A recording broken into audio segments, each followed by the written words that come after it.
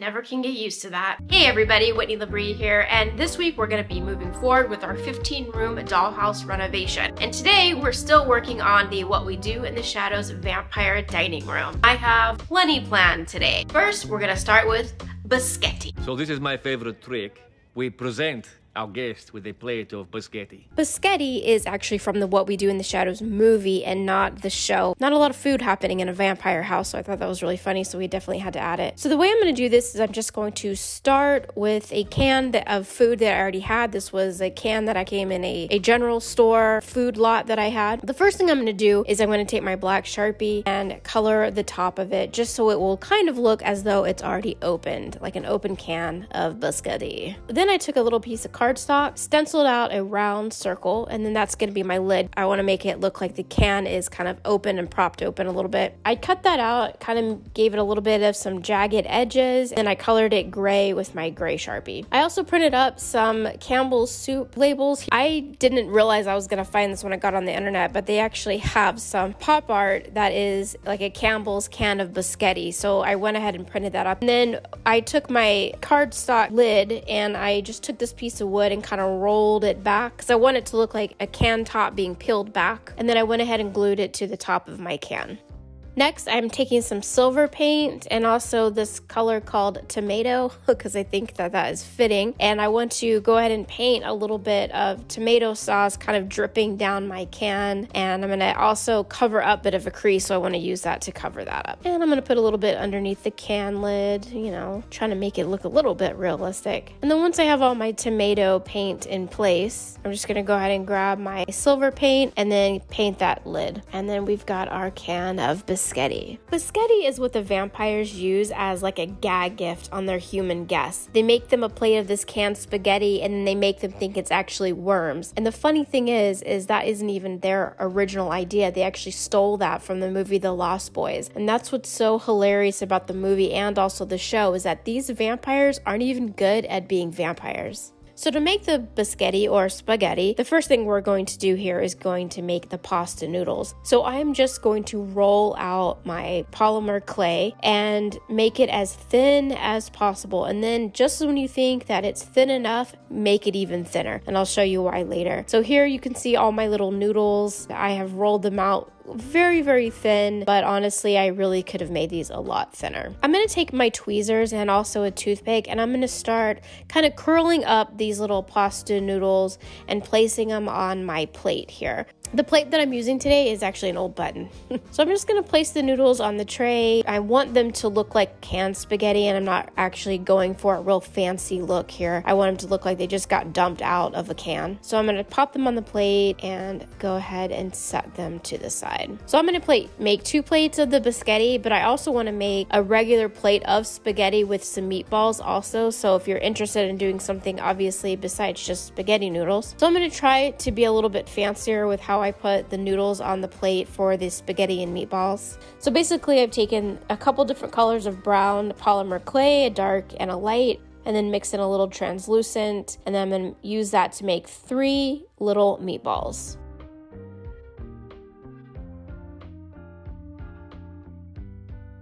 Now to give the meatballs a little texture, I'm just gonna take my toothbrush and kind of pat them a little bit to kind of give them the look of rolled meat. And then I'm gonna go ahead and set those aside for now. Now to make the sauce, this is a really bright orange sauce, especially like a canned sauce. I'm gonna take my clear liquid Sculpey, a little bit of this bright orange, a little bit of this red. I'm gonna mix that together. And then I'm gonna add those two colors back and forth until I get the consistency that I want, the color that I want and it felt like it was a little too bright so then I added this color here and then that felt right so I'm gonna go ahead and start adding that to the plates. Now for my spaghetti and meatball plate, I did add the spaghetti sauce first, then I added my meatballs, and then I added a little bit more spaghetti to the top.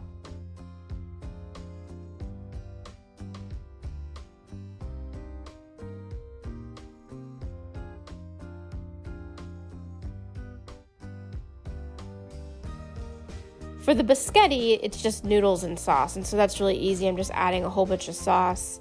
I really do want it to kind of have a soupy sauce kind of feel on the plate, so I'm making sure to put a little extra on that. All right, and then that's what they look like, and I'm gonna go ahead and bake them. All right, once they're baked, really the basghetti is done, but the spaghetti and meatballs needs a little extra. So I'm just gonna take a little bit of my green polymer clay and create two little basil leaves here using my toothpick. I'm gonna pop those on top of my meatballs and then I'll go ahead and bake those for just a little while longer.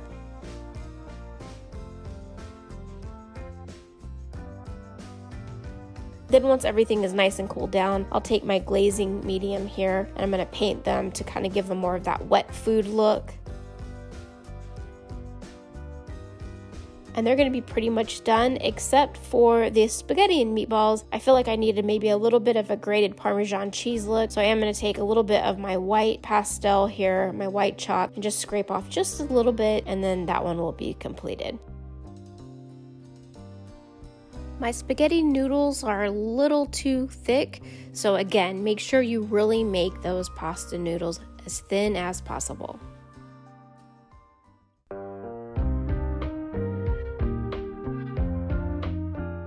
Now I want to work on the Nandor-esque coffin. And the reason I say esque is because, well, the coffin I have is not quite the shape of Nandor's actual coffin. His is more of a rectangle, and of course, I have more of a traditional looking coffin here. So I bought this fur at the hobby store, this faux fur, and I bought this piece of felt here in this really pretty burgundy color. And I'm going to use those to line the interior of this coffin, which also has this cool fold down see through window here. So you can, you know, see the deceased. anyway, this fur right here is so soft and it comes in like this really long strip. So what I'm going to do is just take my Sharpie here and turn the, the fur on the onto the other side because on the other side it's more like a can it feels like canvas. And I'm going to stencil out the shape of the coffin and make my first cuts. Now I'm using fabric scissors for this because I needed them to be very sharp and go right through this fabric canvas.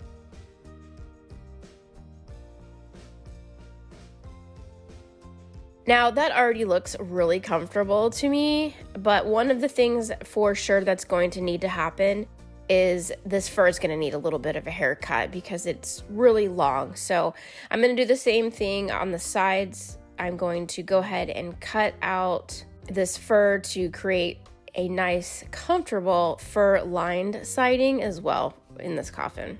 Now, since this coffin lid doesn't fold open, I have to keep putting it on top of the lid and make sure that I'm making sure that before I glue everything down that I leave little areas in all four corners so that it can still close once the fur is installed.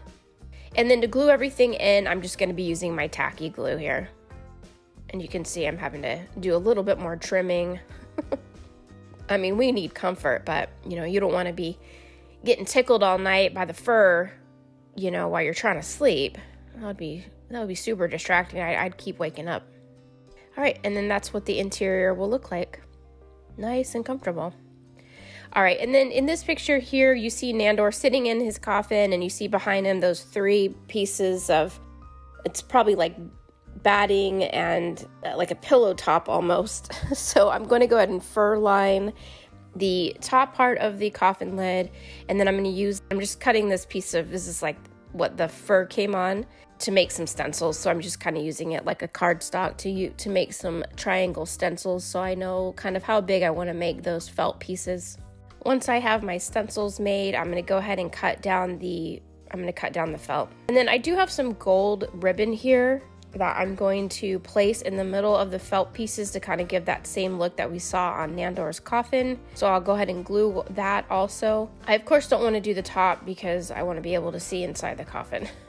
all right, and so once all once that is all done, I want to stain the outside of the coffin to be a little bit darker like the one that we're seeing in the show. I'm just going to take my dark stain pen here and start going over the outside of this box. Now this box has a little stain on it already and so I'm not really sure how this is going to look but in the end it did okay because it actually gave it even more of a wood grain look which is I think better than what it was. And then for the top I'm going to install these little embellishment pieces here that I have just to kind of give it the similar look that you see in Nandor's coffin. Obviously it's not the exact same. And then I'm staining those also and then I'm to add a little bit of gold to them too. Then what I did was I just printed up a picture of Nandor and just basically his head and shoulders. So that way when I open the top coffin, the top window, I can see him inside. Hey man, that is not Nandor. Tiny Whitney, what are you doing in there, you little rascal? Get out of there. We're trying, we're here to see Nandor, not Tiny Whitney. All right, we'll try that again. All right, and there's Nandor. And I kind of try to choose a picture of him making an expression as though he's slightly irritated at us for interrupting him during his slumber.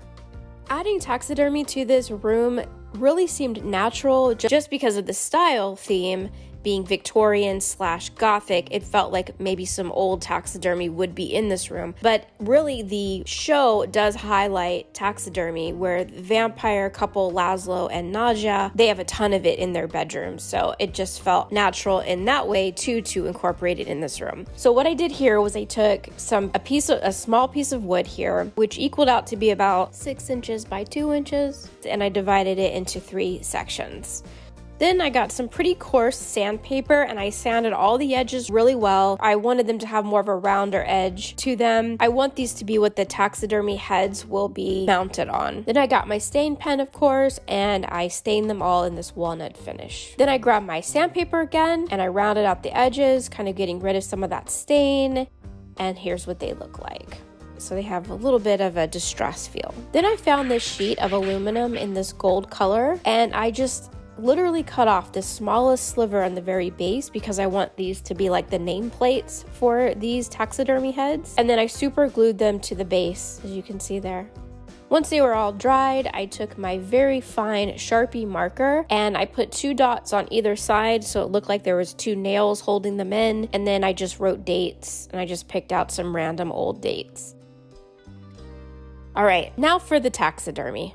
so in the show, there's a lot of highlight on several different types of animals. I looked for them, but I couldn't find them. I really wanted to find a goat, but I couldn't find one, so I'm gonna still look for that. But in the meantime, I found these guys all at the flea market for just a couple bucks. So what I'm gonna do is I'm gonna chop off their heads. I'm only gonna do three. And honestly, I put these bad boys in a vise in the garage and I got the saw. And I'm not gonna lie, this does not feel right at all. I mean, it's so wrong that I'm gonna have to discuss this in therapy for sure. And exactly what is your earliest memory of not feeling normal?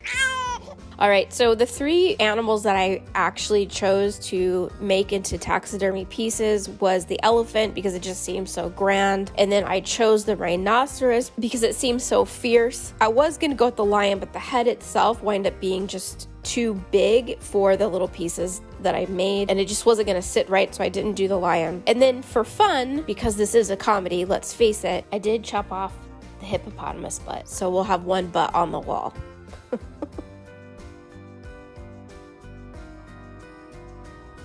The next thing that I did was I took this really coarse sandpaper and I just sanded off the bottoms to kind of give them, well, I didn't sand off the bottoms. I sanded the underneath part to get rid of some of that plastic and make them flatter, as flat as I could and even as I could. And then I took my X-Acto knife and I just kind of went around the edges and to clean up the edges. All right, now as far as gluing them to the bases, I use a combination of super glue and I also use hot glue uh, to fill in some gaps. Like you can see here underneath some of the gaps. Like the rhinoceros looks pretty good. The, the rhino, the hippopotamus butt looks pretty good, but the elephant has a kind of a gap. So I wanted to fill in that gap with the glue you can see there so I can paint over it. Then what I did was I just took some of my acrylic paint and I went over them to make them look a little bit realistic, a little bit more realistic. Did some highlights some low lights. I got rid of the white dots in the eyes because elephants don't have those white dots. Added some brown to the tusks and things like that.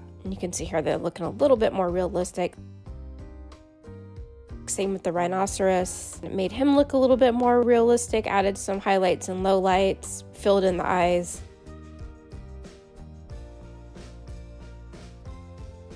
And then with the hippopotamus booty, I just add a little brown and didn't do much there. It was just too hilarious. So, all right. And then those are my taxidermy pieces. So now it's time to put everything together.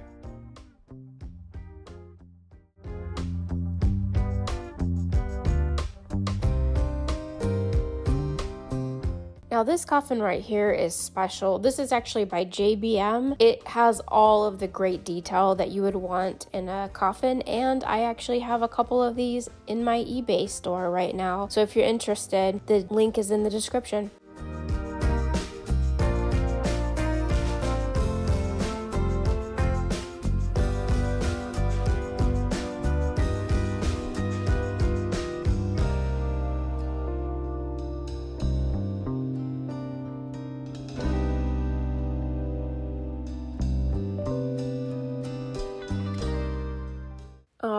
I'm sad now because now it's the end of the video. But I am happy because if you haven't already subscribed, go ahead and push that button for me. Give me a thumbs up. That's incredibly important. And as always, I love hearing from you. So let me know what you think of the video in the comments below. Well, hey, Tiny Whitney, what do you think of our basghetti? No? Not a fan, huh? You don't even want to try like a little piece? Are you sure? All right, next time. I'll let you off the hook. Thank you so much, everybody, for being here. Thank you so much for all your support. It is super appreciated. Have a great week, you guys, and I will see you next time. Bye.